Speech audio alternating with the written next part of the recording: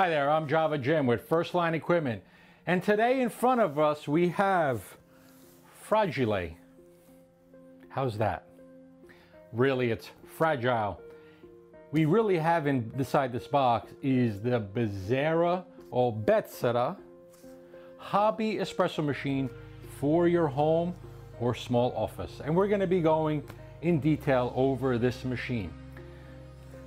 A few years ago, uh, and I just found these in the warehouse. I tend to walk around the warehouse and I find things that show up that I don't even know about. And we have this nice shirt uh, that had come in quite some time ago from Bezzera uh, and or Bezzera. And hopefully they see this video and they correct me on the correct pronunciation because I say it three different ways. So, uh, and I find all that are legit, but it's a great family-owned company uh, that started in 1905. It's actually uh, a competition between another company and Bezzera in who's the oldest, and we deal with both, so we can't get involved in the middle of that argument with them. But uh, we're gonna go over that today. But they gave us a nice shirt. It says the Arcadia. Uh, we're gonna be going over that machine pretty soon too because we do have one in stock and it's a fabulous machine. But today is the hobby. Now, we've removed the staples already. If your machine comes with staples, Please remove the staples first because when you go pull out the machine, guess what happens? You scratch the body. I've asked my staff here to remove the staples, but in case they forget because they're too busy, just remove the staples first. You may end up ripping the box and that's okay. We don't ship in this box, okay? A couple things.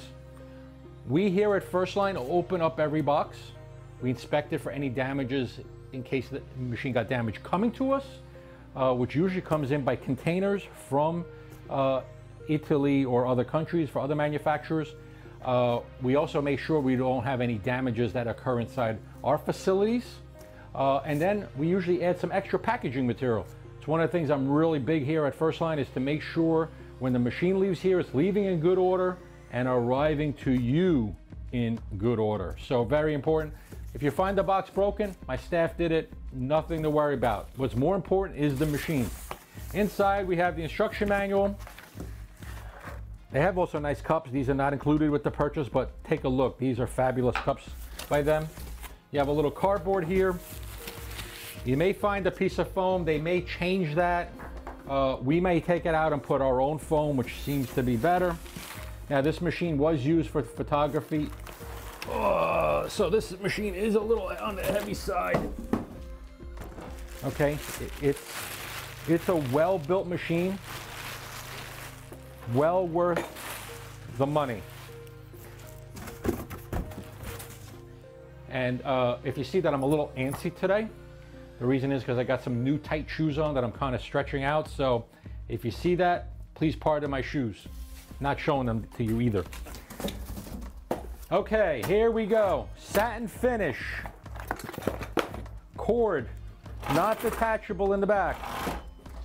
Reservoir lid, not removable. Okay, you'll see a particle filter in here. Extended hose. Get a detachable water softener. Our code is V725. Get it for this machine. It will reduce your problems by 90%. 90 over 90% of the problems that occur in our machines are lime scale caused by your water. Okay, removable reservoir. Wash this with dishwash soap, nothing abrasive on the inside and no dishwasher safeness on this or any other component on any espresso machine. Just a general rule and thumb. Um, general rule of thumb, not in thumb. If you have black mold, that builds up in your reservoir. Okay, a little bit of bleach mixed with water, sit it overnight, should go away. Rinse it well, it's still gonna have a bleach smell. So then you need to put some uh, vinegar in there, white vinegar. That'll neutralize the, the smell and then rinse it again. You may have to take a day or two to do it. So if you wash it every two weeks, you shouldn't have black mold. But if you do, it's your environment. Okay, again, all stainless. Stainless on the inside. This is a heavy machine. Okay, let's get this reservoir back in here. And the other thing that's nice, there's a little loop right here for your water softener for the V725. So they've even incorporated that into the reservoir. Now there is a little extra hole right here. Typically it's for machines that have a thin return hose. So that would go there. I would just stick both hoses in through the top. There's no cover here because the cover is here. Okay. Okay. There is no water or low water level uh, sensor that will shut the machine off it runs low on water. So you kind of need to look here when the water level drops. It's a little difficult, I believe here. The side would have been a little nicer, but putting it on the side can ruin or diminish the structural integrity of the frame. So there's pluses and minuses. I, when I talk to customers over the phone, I mention there's always trade-offs. Every machine has trade-offs. So by putting it here, you see it from the front, you don't have to look on the side. Putting on the side, you might ruin the structural integrity a little bit. So it really depends. Now, drip tray. Okay, little difficult to get out, but that's the way it comes out. A little pet peeve of mine, actually two little pet peeves. Okay, if you see on the bottom of the drip tray, right there, there's a connection inside with a hose. Okay, I believe that is for either the OPV or the three-way solenoid valve. I am pretty sure, I haven't looked inside yet, but I'm pretty sure it's for the three-way solenoid valve, which means if you take the drip tray out, it ain't gonna leak here because there's, there's a little valve right in there that's gonna close as soon as you lift it. And when you put it in, it basically opens it. But if you're operating without the drip tray, you may get some leakage here. So empty this out. It's a little bit on the small side. And let's see here, how's this work here? Let's see. That's your contraption for the bottom there. Okay, sometimes this comes with a white film on it, sometimes it doesn't. Sometimes the machine may come with a white film on it, sometimes it doesn't. It all depends on the production facility. So that's one little pet peeve. Uh, this next one is my personal little pet peeve, but it may be uh, something that you may like. Me, I would put my cups on top. The cup warmers don't work on these uh, single boiler dual purpose machines. And when I say dual purpose, it means you have coffee mode and steam mode, but it takes like two to three hours to heat your cups up. So you're not leaving your machine on for two, three hours. Use the hot water wand uh, or the steam wand for it. And as you can see, it's multi-directional on the steam wand and it does look like it's no burn. Okay, so there is uh, tubing inside to make it uh, no burn. Now, why do you why do they put the rubber mount on or the protective device on these no burn wands? It doesn't mean that you can keep your hand on it. If you keep your hand on it, you're burning. It means that you can quickly touch and move it for a couple seconds, but if you keep your hand on it, you're burning yourself. So if you want to hold it, you can hold it from the rubber mount. But this tray right here, uh, when I first saw the machine in Italy uh, at a trade show, uh, is something that I don't particularly care for. I think they could have extended the drip tray and made it bigger so it's less refilling, uh, less emptying, not refilling. But if you let it fill too much, you start building up fungus and mold in the drip tray. So again, trade-offs, okay? Smaller drip tray, more frequent cleaning, less fungal buildup. Uh, larger drip tray, more convenient, possibly more fungal buildup. The tray is plastic, which is nice. Again, not dishwasher safe, but uh, sometimes on stainless steel drip trays, you're going to get a little rusting or discoloration where the welds are. Now, what's the benefit of this tray back here? Because so I, I gave it a lot of thought. And one of the benefits is cup storage. Okay, you didn't know I was going there, but I said, you know what? If you have two little Demi-Tasse cups or shot glasses, that's a nice little tray in the front. You're not putting them up here, okay? Uh, you can, but you could put some up here, and you could put some down here. Uh, so just something to uh, think about. You want to put a steaming pitcher, you can. Maybe the steaming pitcher goes on the top, and then putting the tray, drip tray back in, okay? Kind of got to push it in there uh, because it's got to make that connection on the inside. Uh, so we're gonna get started. We're gonna fill up the reservoir and we'll be right back to show you the machine. So we have the tank nice and full, actually about three quarters full. Put, set the tank in there, put the hoses in, and the first thing you don't wanna do is turn on the power. The reason is because the water, the machine can start heating before you get water from the reservoir to the internal boiler. And if that internal boiler gets too hot and it doesn't have water, the heating element can melt down or it could trip the safety thermostat. Uh, we don't want to go there. So what I like to do is I like to open, okay, so there's a little symbol here. Uh, this way is tightening the valve, okay? And you don't want to over tighten it, so you always close it till it uh, stops the water or the steam. But full open, we'll go there. We'll put a cup underneath, okay? And uh, let's hit that P button there. And actually we'll turn that on. And the first thing we want to do is get water into the boiler. And on the longer hose, what I'm going to do, listen. You hear the difference in the pump? That's to make sure that we know that water is getting from the reservoir through the pump into the boiler, out of the boiler, through the steam wand. When you get it through the steam wand, you know that it is full. Okay, we'll power that off. We'll close the valve and the water is actually already a little bit warm, just to let you know. By doing this, we know that boiler is filled internally. Uh, the other time you want to do this is after steaming, because after you steam, the water level drops in the boiler. And after steaming, say about one or two cups, between 8 and 12 ounces, um, you want to do the same process of running water through the steam wand to make sure that internal boiler is filled. That will diminish uh, problems that can occur in burning out the um, heating element or tripping the safety thermostat. Uh, while it's warming up, we're going to go over a few things. We have our accessory box. We have our nice, okay, branded Bezzera portafilter. If you see ergonomically designed, but also when you put it on the counter, it's level for tamping. Okay, Large two cup basket, I haven't measured it yet, but I'm gonna guess about 20 to, two, 20 to 22 grams because it is pretty deep. Ugh. I'll show you a little secret with that. Uh, inside here, we have our conspiracy tamper, uh, plastic tamper company. There's a conspiracy in Europe to provide you with one. So buy a better one because this is a piece of junk. 58 millimeter, okay? Get one of those. We have our blind or backflush insert for backflushing.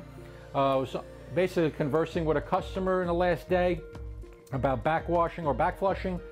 Uh, you can do it without detergent once a day. It kind of keeps the dispersion screen clean, cleans it up on the outside, but also flushes out any coffee grinds that went back to the three-way solenoid valve. and that's not a corona cough, just to let you know, that's a regular allergy cough. Large single cup basket, another useless waste of uh, metal. Make it a paperweight. I don't like one cup baskets, but there are customers who do. We have our um, group head cleaning brush. So what happens is you make your espresso, uh, you might get some grinds that are on top. Uh, you want to clean the gasket, uh, dime a dozen. These can last anywhere between three and six months. And you have your little accessory bag there. We'll put that on the side. I don't like to use the scoop when it comes to measuring uh, the amount of ground espresso coffee.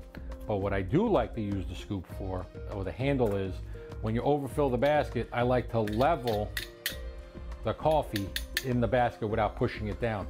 So some customers use this way, I use the, I sometimes use a finger if I don't have one of these, but this is actually a good alternative tool because you can level. When you level the coffee in the basket, you're pretty much using the same amount of coffee every time. So I don't weigh it. I go by volume uh, in the coffee.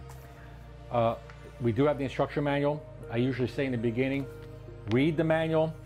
Bezzera has a decent manual, um, but there might be points that are missing.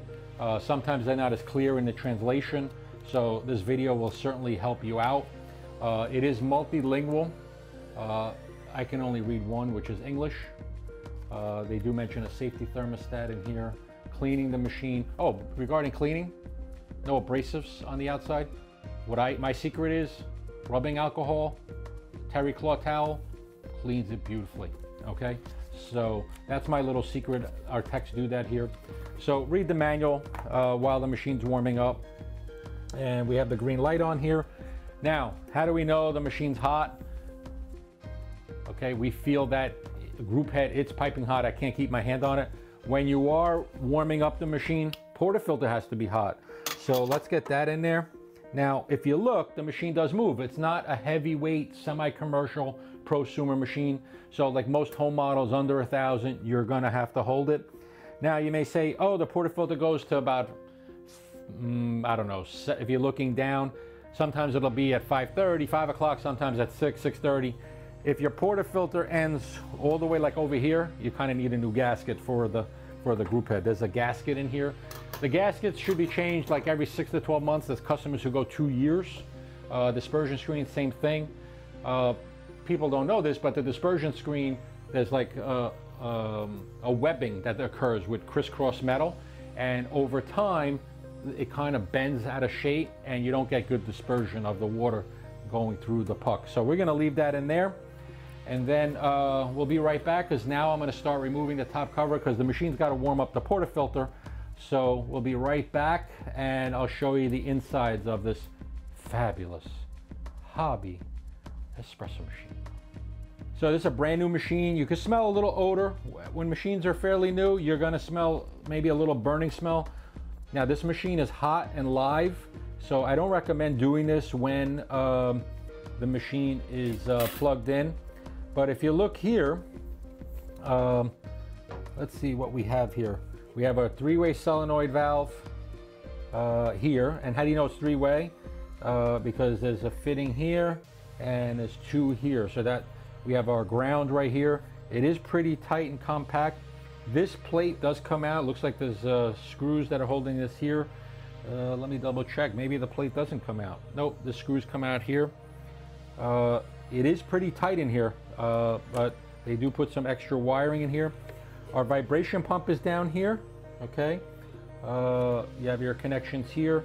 Looks like we got some nickel plating on the boiler, which is really nice. So less exposure to brass and copper, uh, but there is still some brass here. So um, customers may say, oh, well, what about uh, lead and so forth?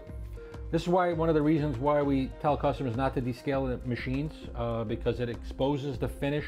A lot of times the finish, even a coating of water can uh, cover those, but as soon as you descale, it kind of opens up uh, any type of uh, lead that can come through. So uh, down in there is your uh, boiler and there is a thermostat right here.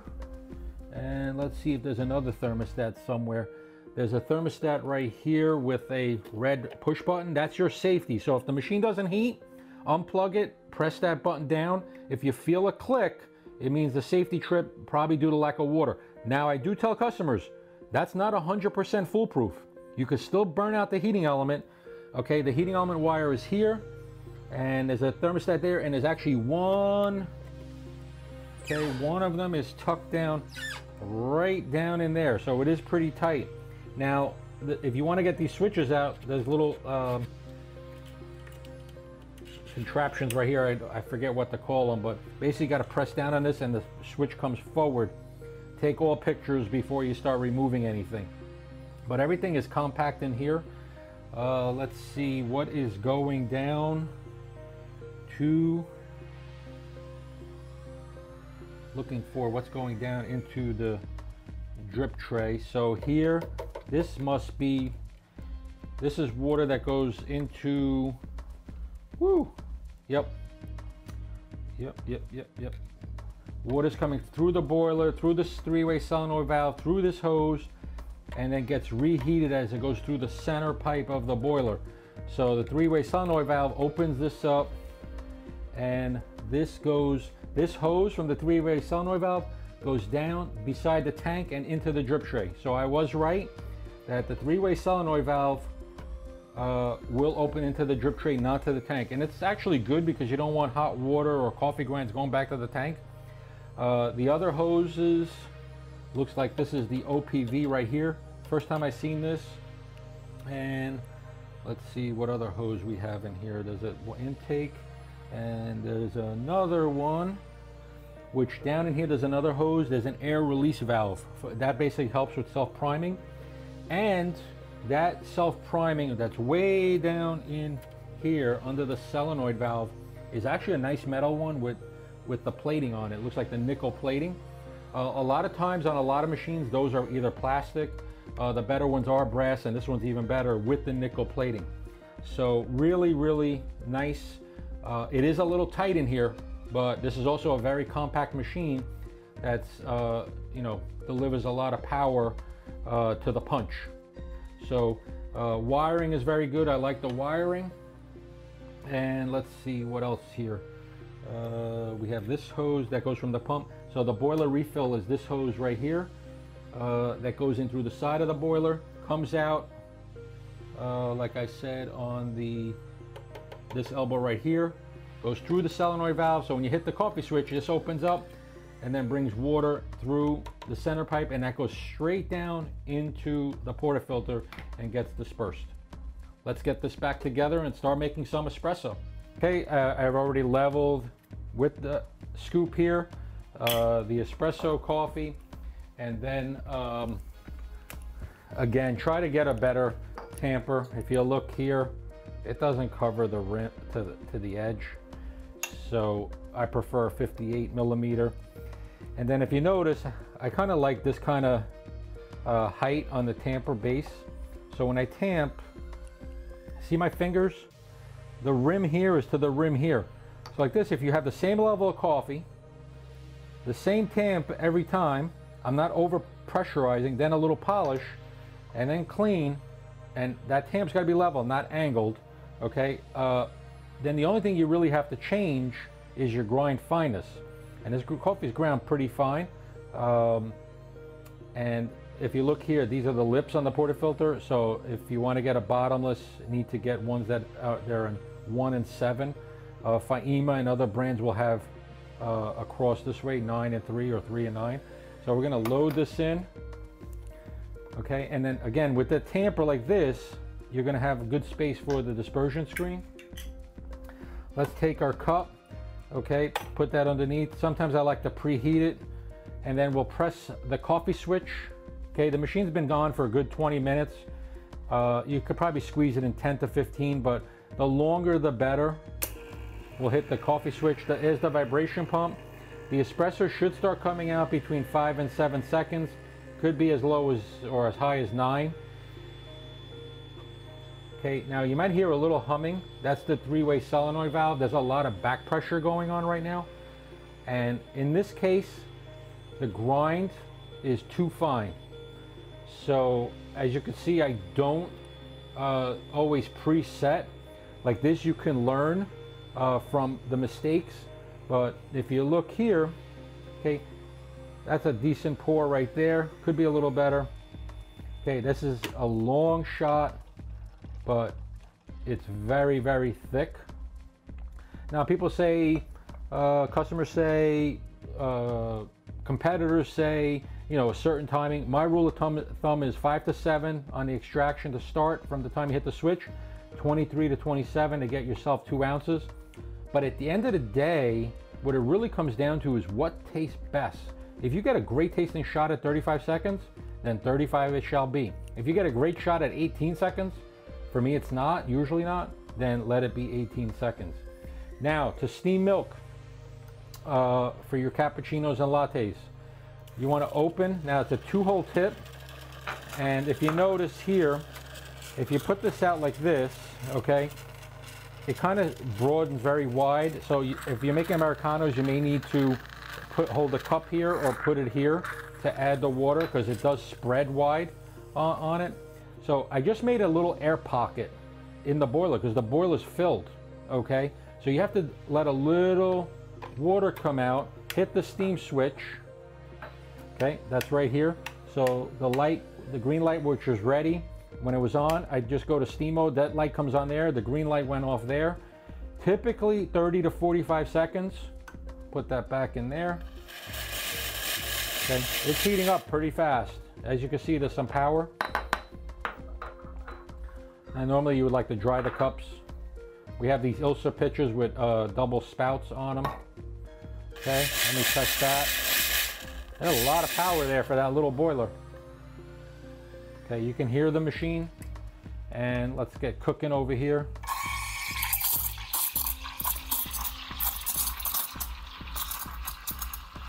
Some really good velocity. I'm lowering the pitcher. I'm keeping my hand on there. I don't use a, a thermometer. I just go by hand.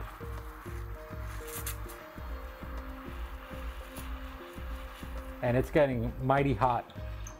So now I'll shut it off. Okay. I know everyone's gonna scream. You got the wet cup here. Pour the espresso in there.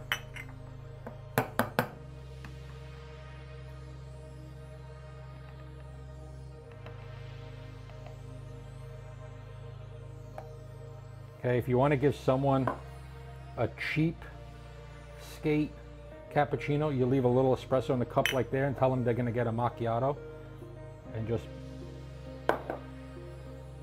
give them that. Like this, they think they're getting wired, but they're really not. That's a little trick that I'll play sometimes here at First Line with uh, the staff. Well, that's the cheap man's cappuccino with very little espresso in it. Uh, again, if you want to play some dirty tricks, that's one way to do it. I got plenty of dirty tricks. Uh, too many, been in this business too long. Now for that over extracted shot, uh, this cappuccino is really, it's actually not bad. Um, again, what it comes down to, your shot may look horrible.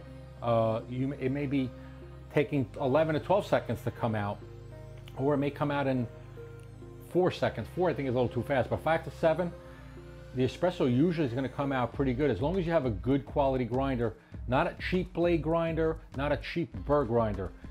My rule of thumb here at First Line, when customers call or email, typically you want to have a grinder. If the machine is a thousand dollars, you want to have a grinder that's between 30 and 50 percent of the price of the machine. So if you're budgeting, that's what you need to budget for. Now, can you go a couple of dollars lower than 30% or more than? Yeah, I have customers who buy a $1,000 machine and a $1,500 grinder.